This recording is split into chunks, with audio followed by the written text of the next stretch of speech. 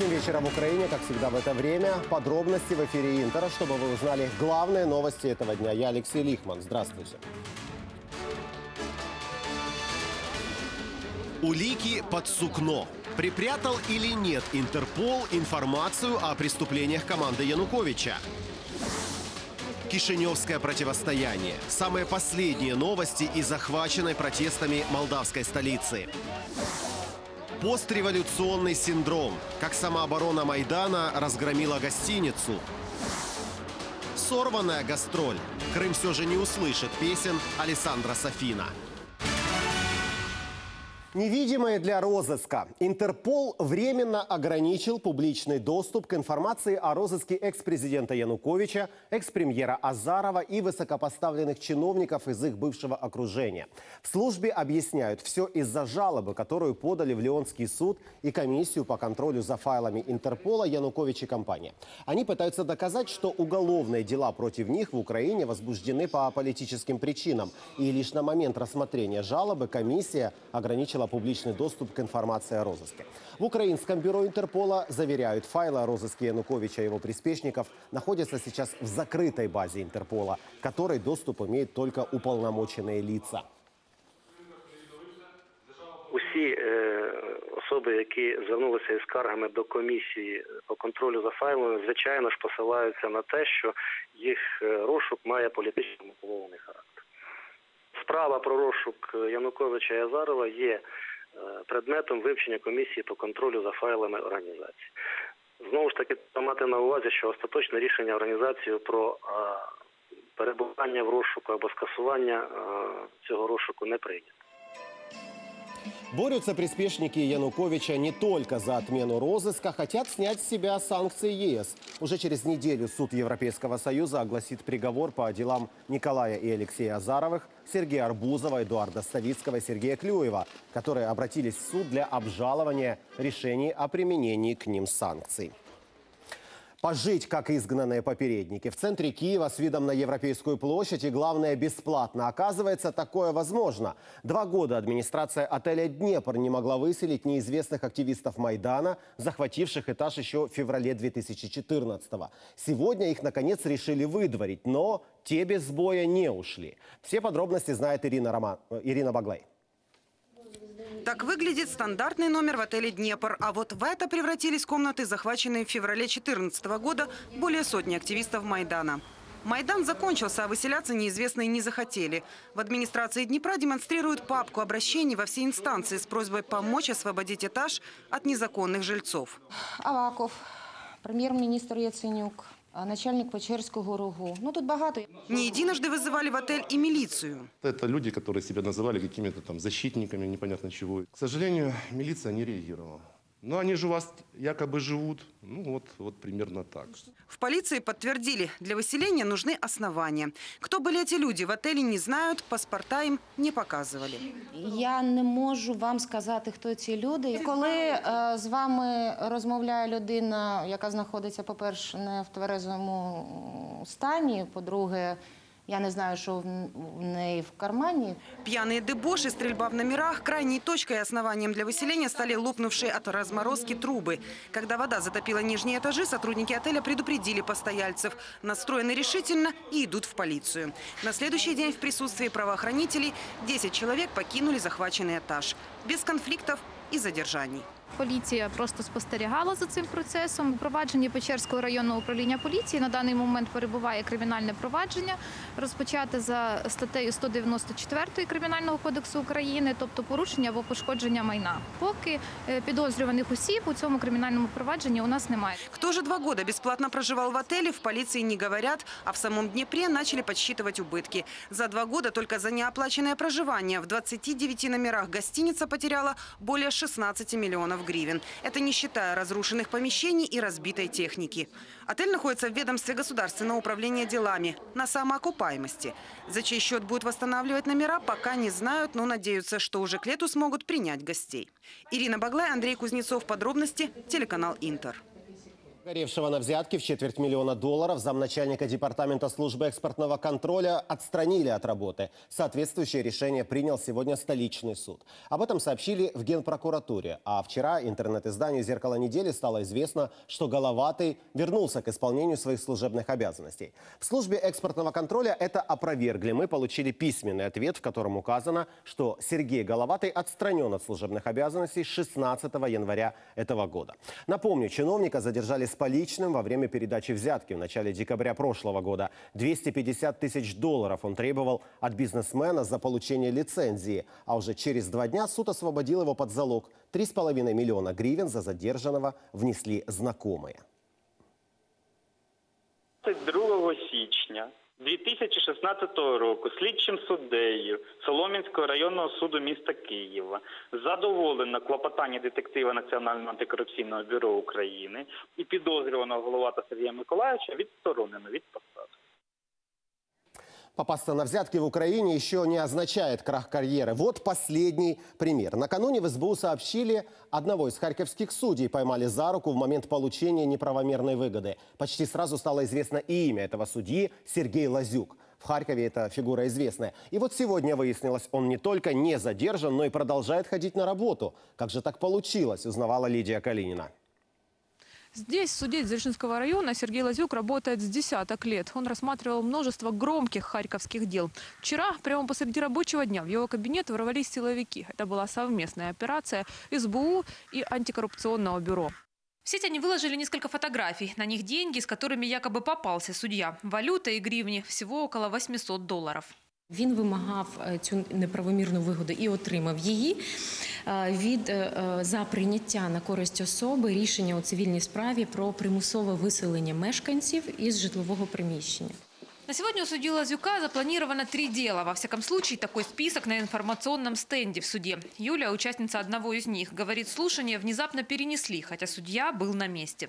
Я видела просто, как он выглядывал, но меня, к сожалению, не пустили. Мне сказали, что по каким-то причинам официальный будет перенос. Больше мне ничего не ответили, кабинет не открыли. В суде вопросом о вчерашней спецоперации удивляются. Говорят, у Лазюка обычные рабочие будни. Суддя Лазюк, так, у нього робочий день. На теперішній час він знаходиться у судовому засіданні. Фамилия Лазюка, по мнению харьковских активистов, уже нарицательная. Он часто рассматривает дела, где фигурируют представители городской власти.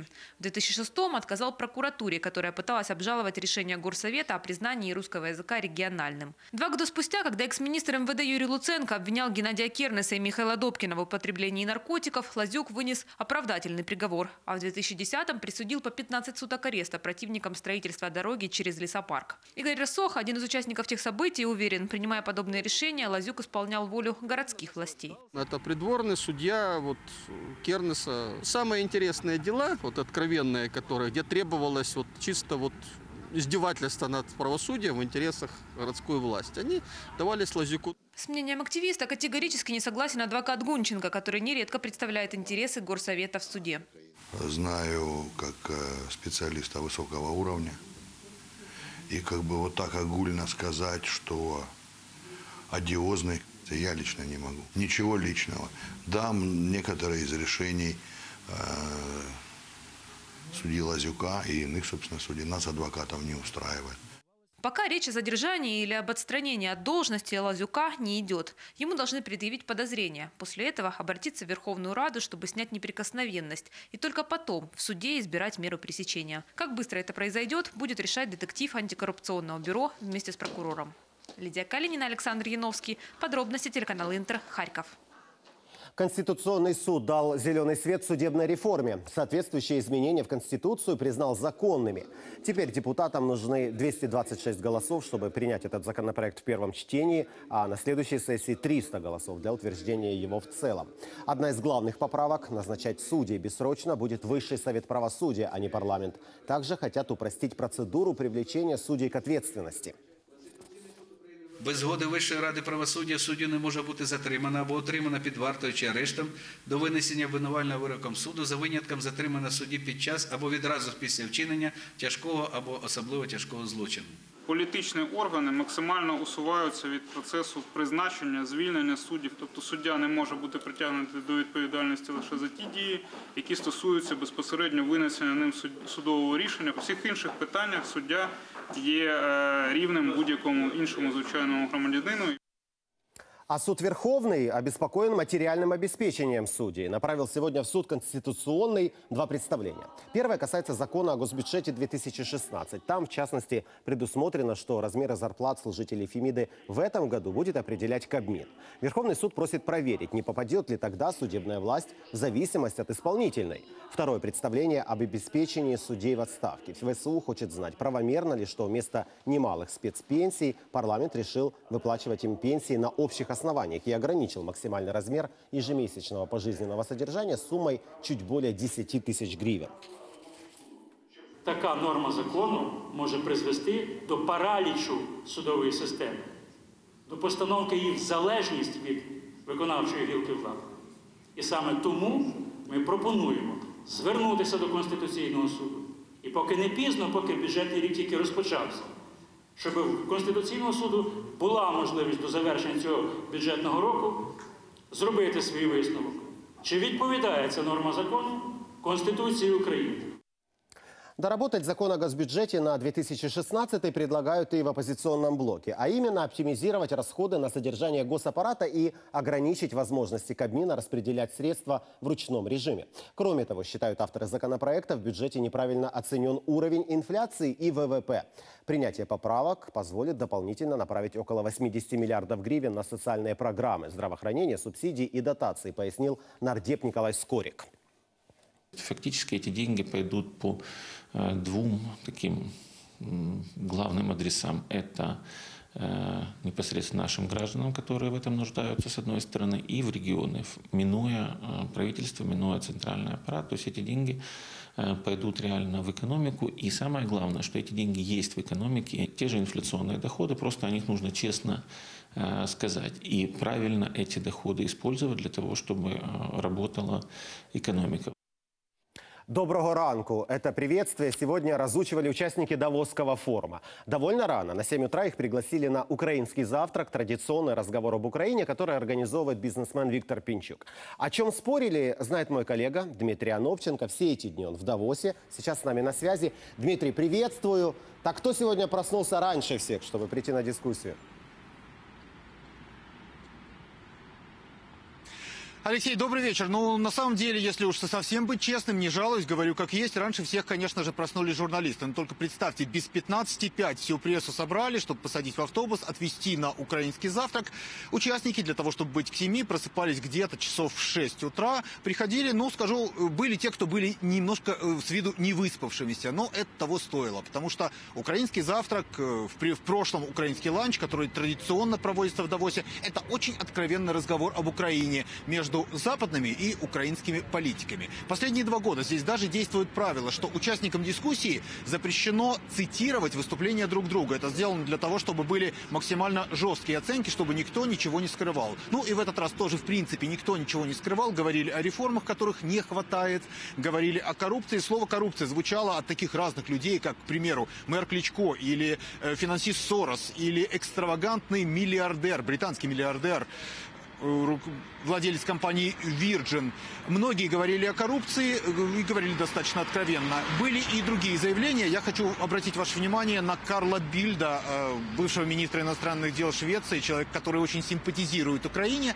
Так вот, говоря о реформах, он все-таки признал, что, во-первых, реформами он доволен. Говорит, что э, такого количества реформ, которые были в 15 и предстоят в 16 ни одна другая страна не переживала. Но, по его словам, нужно еще больше. Э, Бильда также спросили, как известного дипломата, который имеет до сих пор влияние, о будущем безвизовом режиме для Украины. И вот что он сказал, вот его прогноз. Окончательное решение должны принять до октября. Многое вам еще нужно сделать, но я прогнозирую, что ответ будет позитивным.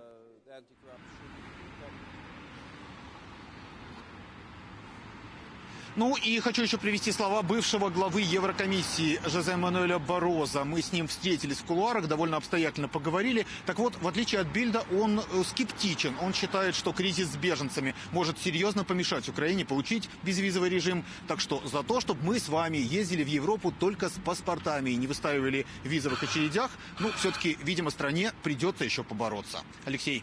Дима, ну а после украинского завтрака что делала украинская делегация, с кем были переговоры и с кем встречался президент? А, Все расскажу. Ну, на самом деле, сегодня это крайний день, как и у нас, как и у украинской делегации, как у президента. Вот буквально через несколько часов все будут вылетать в Киев. Именно поэтому у главы государства очень насыщенный день. Все встречи, все переговоры, все мероприятия нужно было вот в эти э, несколько часов втиснуть.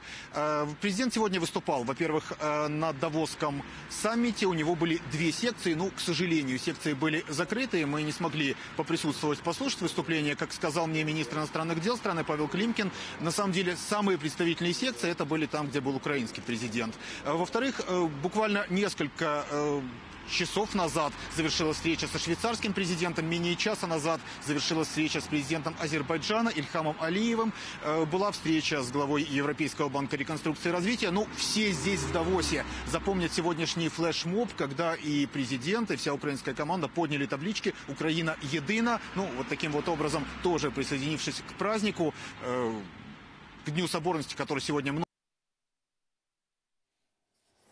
Пропала у нас связь, но в принципе Дима успел рассказать все важные пункты о сегодняшнем, э, о сегодняшнем дне на Международном экономическом форуме в Давосе. Напомню, на связи с подробностями был э, мой коллега Дмитрий Анопченко. Ну вот когда финансы государства зависят от очередного кредита МВФ 2 миллиарда долларов, то главная угроза стране исходит от премьера, министров финансов, экономики и главы НБУ. Об этом в одному из интернет-изданий заявил президент Ассоциации украинских банков Александр Суганяка. Добавил, что интересы МВФ и украинского народа, который теряет свою покупательскую способность, не всегда совпадают.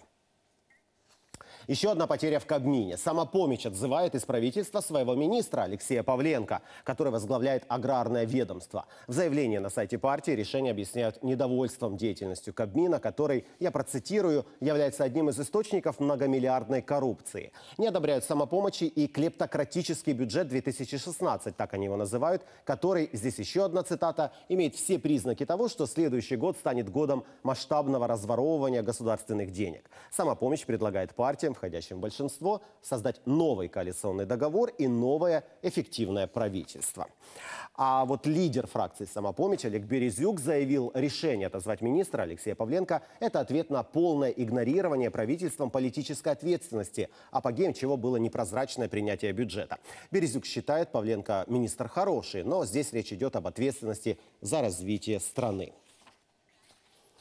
В Молдове не утихают массовые акции протеста и конца им пока не видно. Готовы ли власти искать компромиссы в этой ситуации? Что думают по этому поводу митингующие и какие прогнозы дают местные политологи? Все это выяснял мой коллега Андрей Анастасов. Он сейчас находится в Кишиневе и на прямой связи с нами. Андрей, я приветствую тебя. Вопросы прозвучали, мы ждем от тебя полной информации. Добрый вечер. Протесты в Кишиневе продолжаются третий день. Студенты, пенсионеры, предприниматели, рабочие приходят на площадь Великого национального собрания к зданию правительства. Требование отменить решение об утверждении этого самого правительства и назначить досрочные выборы в парламент. Сегодня митингующие, а это примерно 10 тысяч человек, прошли маршем по городу к зданию местного телецентра. Там требовали, чтобы лидерам оппозиции предоставляли прямые эфиры. Лозунги звучали разные.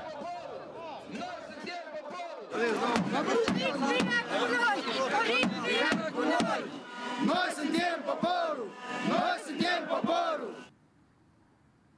Напомню, против диктатуры местного олигарха Владимира Плохотнюка на этот раз единым фронтом выступили как проевропейские силы, так и пророссийские партии. Активисты говорят, Плохотнюк узурпировал власть. Ему подчиняются суды, силовые структуры, парламент. И вот последней каплей стало утверждение в эту среду полностью подконтрольного правительства. Правда, сделано это было в спешке за полчаса с нарушением регламента, а значит, считают демонстранты, правительство нелегитимно. Мы тоже взяли очень хороший пример от украинского народа и хотим избавиться от этих бандюг и от этих воров. Сейчас только нач- начало этих событий. Все будет впереди. Все это время лидеры оппозиции вели переговоры с властями. Но вот как рассказал нам сегодня один из лидеров протеста, ни парламент, ни новое правительство не идут на уступки. Они не хотят уйти по-доброму, так что мы организуем э, акции протеста большого масштаба. Мы будем протестовать до конца. Мы не остановимся, пока эта диктатура не уйдет. Теперь вопрос, кто окажется крепче. Власть с ее твердой позицией, что правительство избрано легитимно, или манифестанты с их не менее твердыми убеждениями, говорят политологи.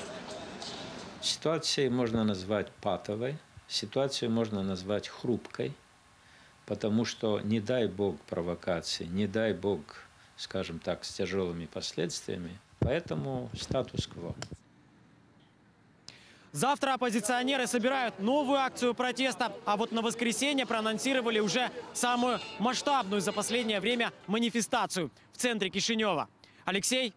Спасибо, Андрей. Это был Андрей Анастасов из Кишинева, в котором не утихают массовые акции протеста. Условное перемирие становится все более условным. На Мариупольском направлении противник обстреливает наших военных все чаще, а оружие используют все более мощное. В причинах обострения ситуации разбирался наш военный корреспондент Александр Пантелеймонов. Сейчас на Мариупольском направлении сложилась такая ситуация, что между нами и противником практически не осталось буферной нейтральной зоны, поэтому любые перемещения воспринимаются как угроза, а боевики могут вести обстрел прямо не отходя от своих позиций. Это крупнокалиберный пулемет. Вот видите, следы от разрывов.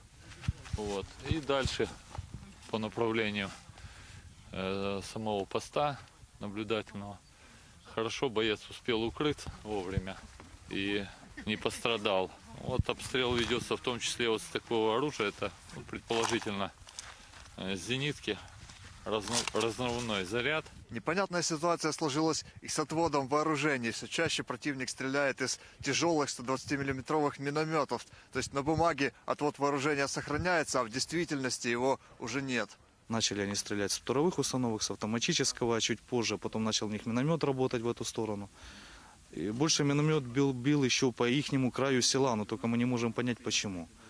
Они били, получается, тоже по своим же. Почему они туда били? И может они хотят спровоцировать, что как бы мы их обстреливаем. На одной из позиций встречаем наблюдателей ОБСЕ. Наши военные как раз объясняют им, что, когда и откуда прилетело сегодня ночью. К примеру, это проволока от вражеской управляемой ракеты, да и вообще следов более чем достаточно. Повреждений по посадке много. А нитка тянется вот так вот вдоль этого самого поля, как раз вот туда, на это самое, на край здания. Послушав наших военных, минут 20 международные наблюдатели уехали в захваченное врагами Коминтерново.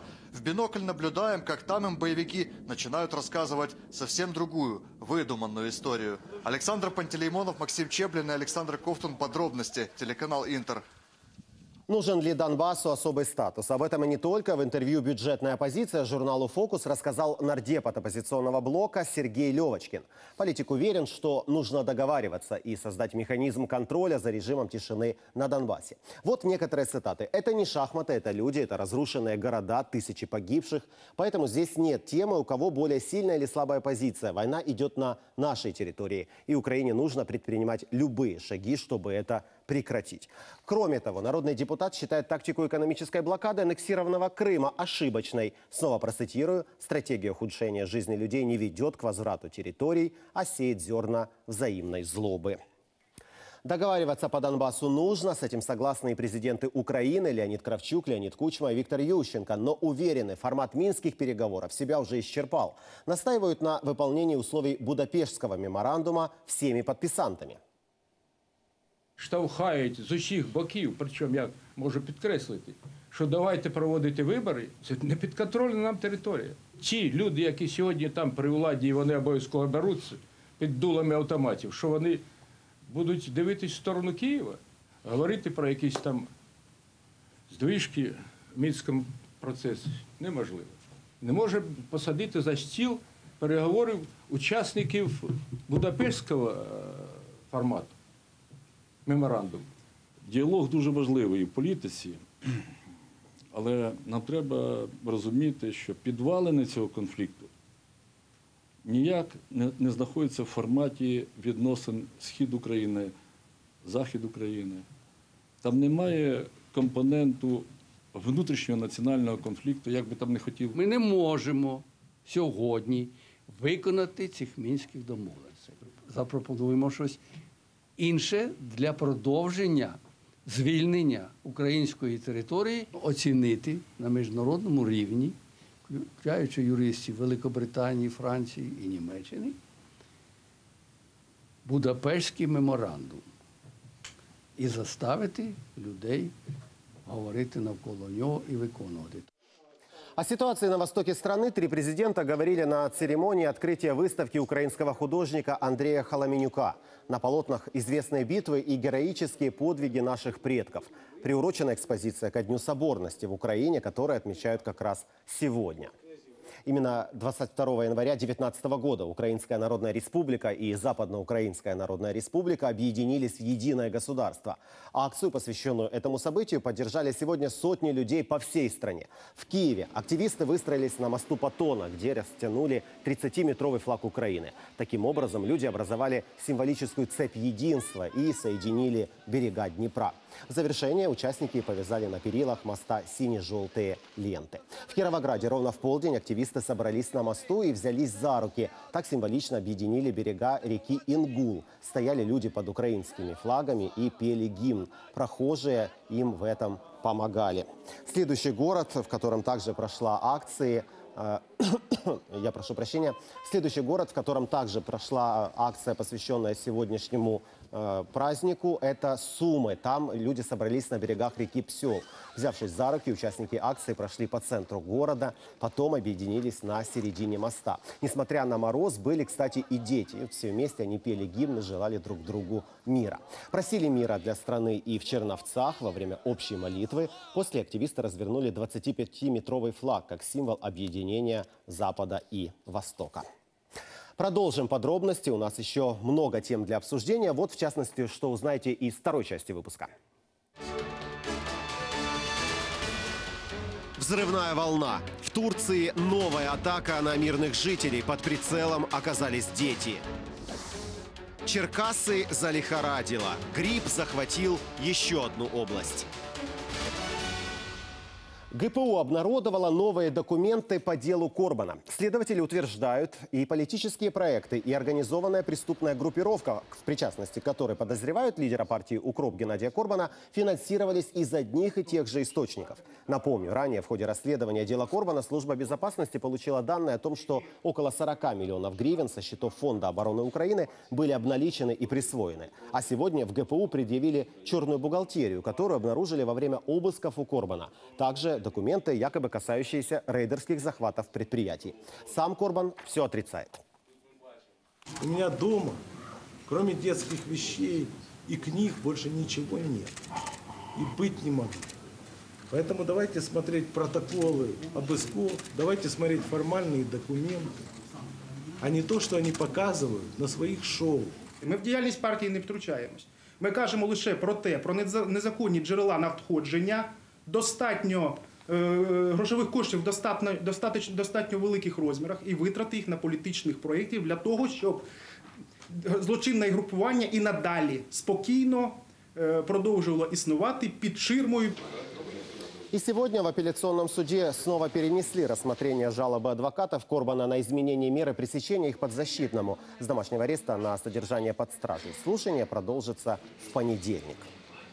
В Донецкой области по подозрению в разбойном нападении задержали бойца полка Днепр-1 и двоих волонтеров. Сообщила об этом на своей странице в Фейсбуке пресс-служба прокуратуры Донецкой области. По данным следствия, трое вооруженных людей ворвались в жилой дом в Авдеевке и отобрали у хозяина компьютер, планшет и паспорт. Для нападавших избрана мера пресечения. Два месяца содержания под стражей или 400 тысяч гривен залога.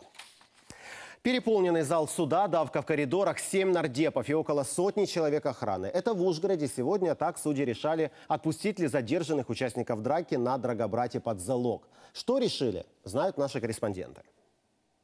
С раннего утра апелляционный суд в Ужгороде оцепила полиция. Усилили охрану всего центра города. Движение автомобилей по улице, где находится суд, перекрыто. У здания митингуют родственники задержанных членов правого сектора и активисты.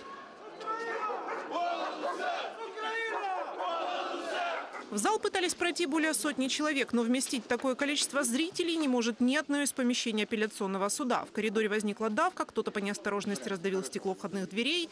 Первым в зал приводят Василия Василенюка из Ивано-Франковска. Группа поддержки на улице начинает петь гимн. Судья вынужден прервать заседание. Для того, щоб прозвучав гімн.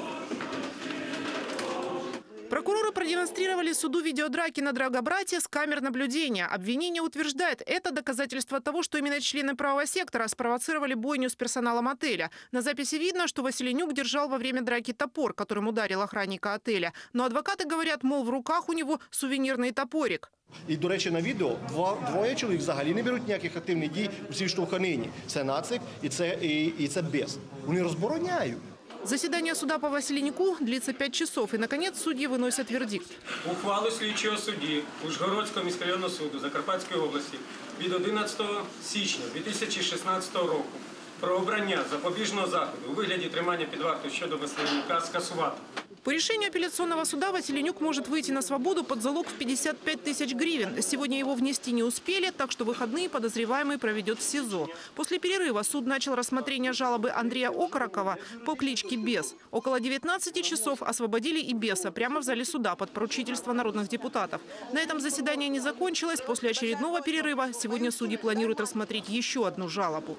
Ну а губернатор Закарпатской области Геннадий Москаль сегодня рассказал, что лично съездил на Драгобрат, посетил там хату магната, где и произошла резонансная драка. И вот что рассказал. Сюди потрібно приїжджати в лижах, в лижній формі, а не з якимись намірами напитися чи побешкетувати. Я думаю, слідство розбереться і поставить всі крапки над «і». Решение суда освободить задержанных членов правого сектора из-под стражи не означает, что они не понесут уголовной ответственности. Расследование продолжается. Санкция статьи хулиганства с применением оружия предусматривает от 3 до 7 лет лишения свободы. Ирина Исаченко, Марина Коваль, Юрий Ковалев. Подробности телеканал Интер, Ужгород.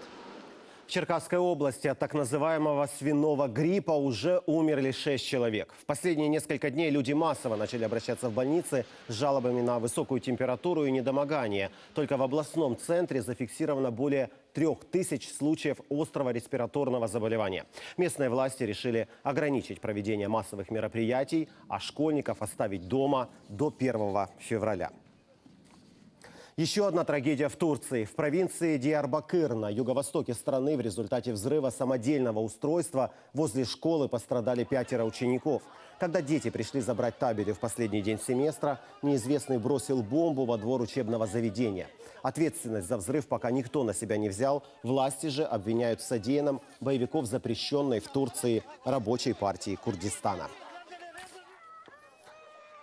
США намерены использовать сухопутные войска против группировки «Исламское государство» в Сирии и Ираке. Об этом объявил глава Пентагона. С подробностями наш корреспондент в Вашингтоне Тихон Зетко. О полномасштабной сухопутной операции речи не идет, но в планах Вашингтона серьезно увеличить свое военное присутствие в Ираке и Сирии. Сейчас в операциях против террористов ИГИЛ, помимо американской авиации, принимают участие небольшие отряды спецназа США. Они помогают местным вооруженным силам. Теперь же Вашингтон направит в регион военных 101-й воздушно-десантной дивизии. Речь идет об 1800 американских военных. Как пишет глава Пентагона Эштон Картер в своей статье на сайте Политико, они прибудут туда с поддержкой американского народа и оружием, чтобы уничтожить варварскую организацию. Мы должны уничтожить ИГИЛ. Я говорил с нашими союзниками о том, что нам необходимо уничтожить группировки в Ираке и Сирии, взять города Масул и Ракка, которую террористы называют своей столицей. Наши союзники по коалиции также делают многое, но могут больше. Картер сравнивает ИГИЛ с раковым заболеванием, которое распространяется по миру. И это, говорит он, нужно остановить. Между тем, свое присутствие в Сирии, похоже, наращивает и другой участник противостояния – Россия. По некоторым данным, Москва планирует создать военную базу в этой стране, в сирийском Курдистане. В частности, канал Fox News сообщает, что российских военных и инженеров видели вблизи аэродрома приграничного с Турцией города Эль-Камышлы. Если информация подтвердится, это будет вторая военная база России в Сирии. Первая находится в провинции Латаки. Отсюда осуществляет свои вылеты российская авиация. Тихон Зитко, Никита Исайко. Подробности. Американское бюро телеканала Интер. Госдепартамент США закрывает 5 из 6 почетных консульств России в штатах Калифорния, Юта, Миннесота, Флорида и Пуэрто-Рико. По данным российского МИДа, дипломаты узнали об этом из короткого уведомления по электронной почте. В Москве таким решением Вашингтона возмущены. Говорят, оснований для прекращения работы консульств нет. Мол, таким образом Обама пытается свернуть связи с Россией. Но при этом Джон Керри сегодня не исключил, что санкции против России могут быть сняты уже в ближайшие месяцы, если обе стороны конфликта полностью выполнят все условия Минских соглашений. Об этом госсекретарь США заявил на Давосском форуме. Здесь, в Давосе, вице-президент Байден и я встретились с украинским президентом Порошенко и заверили в своей полной поддержке имплементации Минских соглашений. Я верю, что благодаря усилиям и легитимным попыткам разрешить проблему с обеих сторон, в ближайшие месяцы возможно выполнить Минские соглашения и прийти к тому моменту, когда санкции могут быть в связи с полной имплементацией сняты. Песен не будет. Итальянский оперный и эстрадный исполнитель Алессандро Софина не даст концерт в Крыму. Об этом написал на своей официальной странице в интернете. Чем объяснил такое решение, расскажет Юлия Крючкова. Концертов не будет. Ни в Симферополе, ни в Севастополе. Александра Софина не приедет на полуостров, пока конфликтная ситуация вокруг Крыма не разрешится. Такое заявление появилось на официальной интернет-странице певца. Также написано, что Софина не намерен быть в Украине нежелательным гостем. Напомню, в начале недели Минкульт пообещал итальянскому тенору отменить все выступления, запланированные на март в украинских городах, и объявить его персоной нон-грата, если он приедет с концертами в Крым. А на полуострове пока афиши висят. Но вот реализация билетов уже сегодня после обеда приостановлена. Впрочем, в кассе Мустеатра говорят, успели продать почти все. Пока никакой официальной информации нет, то мы приостановили продажу. Как только что-то отменится или будет продолжение, или чего, если будет отмена, мы вернем деньги. Напомню, концерты Александра Софина были запланированы в Крыму на конец февраля. 21-го его ждали в Симферополе, 23-го в Севастополе. Цена билетов варьировалась от полутора до шести с половиной тысяч рублей. Промоутеры в Крыму говорят, пока они не получили от певца документально подтвержденного отказа написал на сайте, это не является документом, понимаете? Потому что завтра он скажет, что сайт его взломали, и кто-то там что-то написал. Мы где-то для себя выводы делаем всего, что он принял ультиматум Украины и отменяет два концерта. Но документального подтверждения этим словам у нас еще нет. Кроме итальянского тенора, на полуострове ждут французского актера и режиссера Пьера Ришара. Афиши висят, билеты активно раскупают. Ришар везет в Крым новую постановку. Моноспектакль «Пьер Ричард III». Пока об отмене представлений речь не идет. Юлия Крючкова, Виталий Зитковский. Подробности. Телеканал «Интер. Крым». В США в нескольких штатах на восточном побережье объявлено чрезвычайное положение. Связано это со снежной бурей, которая, как ожидается, начнется через пару часов и продлится все выходные. Самую сложную ситуацию прогнозируют в Вирджинии, Мэриленде, Пенсильвании и в столице США, Вашингтоне. В городе закроют все учреждения, также большинство магазинов, кафе. Метро не будет работать до утра понедельника. В преддверии бури жители ринулись в магазины, скупили почти все товары. По оценкам синоптиков, эта снежная буря может стать самой сильной за последние сто лет. Пинг-понг в космосе, третье замужество певицы Мэраи Кэрри и каких жертв удалось избежать в центре Рима. Обо всем узнаете далее из нашего международного обзора. Бдительность римлян спасла жизнь десяткам людей. Поздней ночью прохожие заметили трещины в жилом доме в центре итальянской столицы и вызвали спасателей. Всех находившихся в здании пришлось эвакуировать. И как только дом покинул последний жилец, три верхних этажа обрушились. По предварительной версии, причиной обвала стали работы по реконструкции одной из квартир. Все ради знаний. В небольшом японском поселке на острове Хоккайдо до сих пор на маршрут выходит один единственный поезд ради одного пассажира – 18-летней школьницы. Каждое утро Акане Хараде на учебу приходится ездить в соседний город. И только для того, чтобы девушка не пропускала занятия, власти решили не закрывать железнодорожную станцию в ее поселке, где проживает всего 36 человек. Игрой в пинг-понг американский астронавт отметил 300 дней пребывания на орбите. Скотт Келли отправил на Землю видео, на котором он демонстрирует свои развлечения в космосе. Ракетки из гидрофобного гидрокарбоната, а вместо теннисного мячика – капля воды. Но не только этим космический пинг-понг отличается от земного. В невесомости играть приходится очень медленно.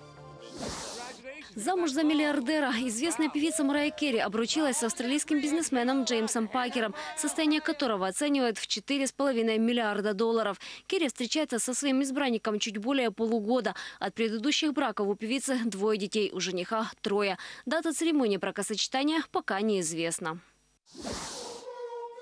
Воинственный танец вместо свадебного вальса. В новозеландском городе Окленд на церемонии бракосочетания гости молодоженов исполнили традиционный танец хакка, которым маори поднимают боевой дух своих солдат и запугивают врагов. Инициаторами исполнения стали друзья невесты. Они первыми пустились в пляс. Поначалу пара удивилась, но потом с радостью поддержала гостей. Украинский уикенд в Париже начался вчера вечером. В программе выставки, фильмы, дискуссии. Как это выглядит и кто интересуется Украиной, расскажет София Гордиенко. В маленьком кинотеатре с символическим названием «Фильмотека» обычно крутят голливудскую классику. Но сегодня очередь за билетами на украинское документальное кино. Люди идут сами, ведут с собой друзей. Я фотограф, был на месте событий, видел все своими глазами, и теперь интересно увидеть это в кино. Посмотреть ленту о Евромайдане собрался полный зал. Это не просто фильм, объединенная работа нескольких режиссеров, каждый из которых снимал свою историю. Для продюсера нет ничего удивительного в том, что зритель идет на серьезную ленту. На відміну від е, художнього кіно, це не повністю видумка, а на відміну від новин це не сухі факти. І це один з найпрекрасніших, як на мене, способів е, знайомитись з реальною з реальністю. Еще один способ знакомиться с реальностью через искусство изобразительное. В 200 метрах от фильмотеки продолжение истории Евромайдана. Война и любовь. Из сотен рисунков Никиты Кравцова смонтировали анимационное видео. По количеству посетителей понятно, Украина сильна не только варениками и вышиванками. У украинского атташе по культуре, которая сумела создать бренд из собственного имени, рецепт один. Чтобы продвинуть культурный продукт как на Западе, так и дома, надо идти в люди. Коли давала лекцію в дипломатичній академії, казала основна, по-моєму, заповідь культурного дипломата тусуйтеся, тому що якраз якщо ви виходите кудись в світ, ви знайомитесь з людьми, ви обмінюєтеся контактами. Як коли ви десь на приємній виставці за келихом вина, у вас значно більше шансів якось е, заручитися підтримкою, ніж якщо ви просто будете якісь офіційні запити послати. Если судить по аншлагу в залах, рецепт Ираны Карпы работает. София Горденко, Василий Трушковский. Подробности телеканал Интер из Парижа. Вот такие у нас сегодня подробности. Спасибо, что смотрели. Увидимся в этой студии уже завтра.